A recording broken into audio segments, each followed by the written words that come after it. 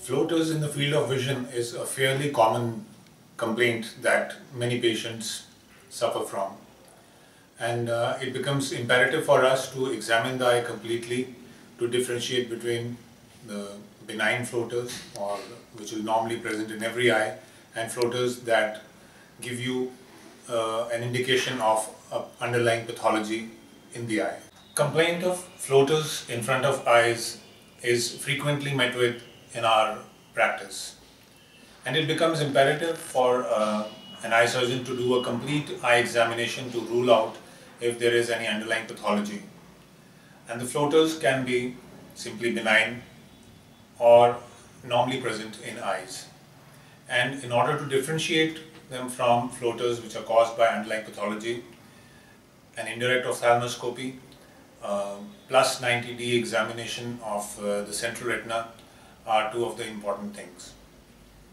Now when I talk of uh, benign floaters, all of us have uh, experienced this in our childhood when you close your eyes in sunlight against a back background of red you'll find dark threads, spring uh, like objects or comma like structures moving up and down and we used to play with them. These floaters are also seen uh, if you have uh, a monotonous background of white, grey or blue and you have light coming from one side and not coming from front.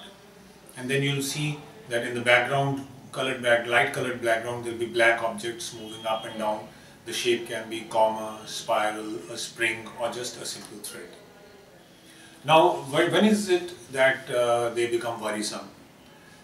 Situations where there is a sudden increase in number of floaters, sudden increase in size of floaters, flashes of light, lightning streaks, or a veil coming in front of the eyes are the situations which warrant an immediate examination by an eye surgeon. Presence of floaters, as we just discussed, can be a normal process or it can be a part of a degenerative process, an age-related process, or it can be because of certain pathologies which involve the posterior segment of the eye, which means vitreous and the retina. The danger signs have been explained to you all. Now, it becomes imperative that you have a regular follow-up and a complete eye examination with dilatation of pupils and indirect ophthalmoscopy in order to determine whether those floaters are have any uh, underlying pathological significance or not. There are times when these floaters can be disturbing in your day-to-day -day activity and at that time all you have to do is change your gaze to the other side because the floaters are going to move away from your visual field and you can continue doing your normal activity. The question arises that if I, you have got floaters, what is to be done? Now in case of benign floaters, all you have to do is follow up with the doctor regularly.